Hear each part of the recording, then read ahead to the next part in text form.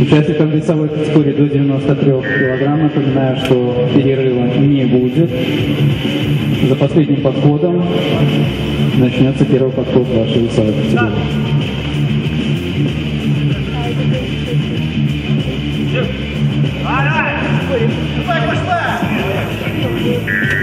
Вес участнику не покорился, закончил с результатом 137,5 килограмм.